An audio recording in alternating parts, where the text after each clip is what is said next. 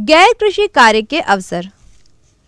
आज़ादी के समय हम अधिकांशतः अपने उपभोग के लिए अनाज का उत्पादन करते थे एवं सीमित मात्रा में बाज़ार में अनाज बेचा करते थे। परंतु अब खेती ने व्यावसायिक रूप धारण कर लिया है। इस कारण खेती के लिए ज़रूरी साधन खरीदे जाते हैं, जैसे बिजली, खाद, बीज, ट्रैक्टर, ट्यूबवेल, हार्वेस्टर आदि।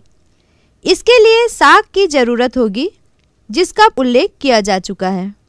अब खेती की पैदावार का एक बड़ा हिस्सा बाज़ार में बेचने के लिए लाया जाता है।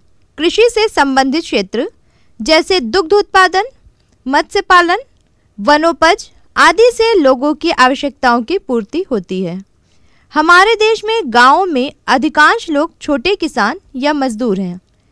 इन लोगों को कृषि क्षेत्र में लगातार और साल भर काम नहीं मिलता।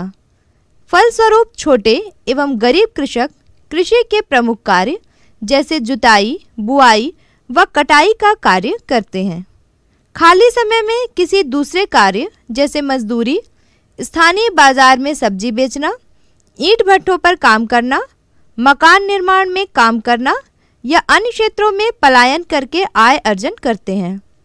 इस तरह के अनेक गैर कृषि कार्य आजकल बढ़े हैं, लेकिन वे अनियमित एवं अनिश्चित हैं और कम मजदूरी वाले क्षेत्र हैं।